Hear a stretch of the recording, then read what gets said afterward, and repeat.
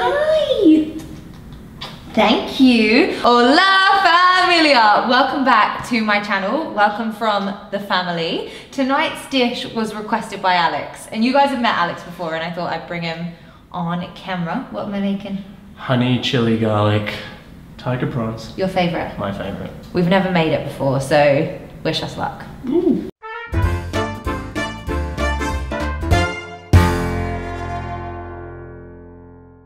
I'm pulling up my sleeves, guys. This is gonna be a super fast, delicious, anti-inflammatory dish, which I'm so excited to cook. It's in a stir fry style. That is the biggest tongue twister ever, but it will be ready in literally 15 minutes. Before we get started, please do excuse how I look, guys. We've been out at the market all day, which you're gonna see in tomorrow's vlog, and it was a very full on but amazing day, and I just got home and I was like, do you know what?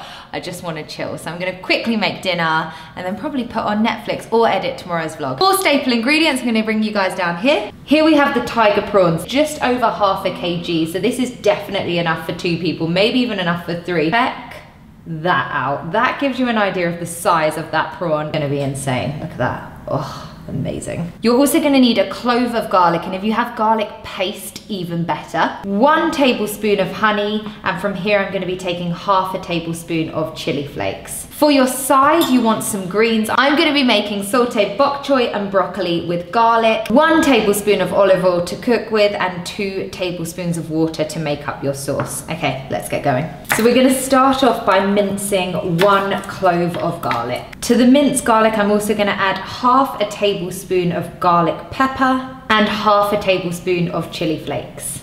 You're then gonna add just a tiny drizzle of extra virgin olive oil and you're gonna mix that all together. So you're gonna use this paste to season your tiger prawns. Now don't be scared of getting your fingers involved. I'm just popping it over with the spoon and then I'm gonna use my hands to knead it in to make sure we're fully seasoned. Oh, that smells amazing. Last up to prepare the honey glaze, we're gonna add one tablespoon of honey to two tablespoons of water. You're then gonna mix that and set it to the side. That's seriously nice, doesn't it, Ted?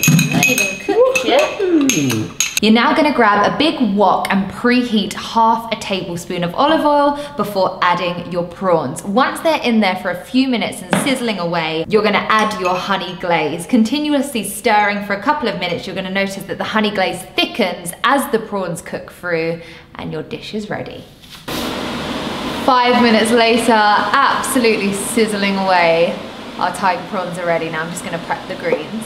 Is the finished product. Guys, I have a very happy Alex behind the camera. That is us done. Please do not forget to like this video, hit subscribe and drop a comment down below of anything in particular you would like to see. If there are any recipes that you'd like me to be showing you guys, please do let me know. Alex, this one's for you. Uh, Arigato. Okay, bye from us.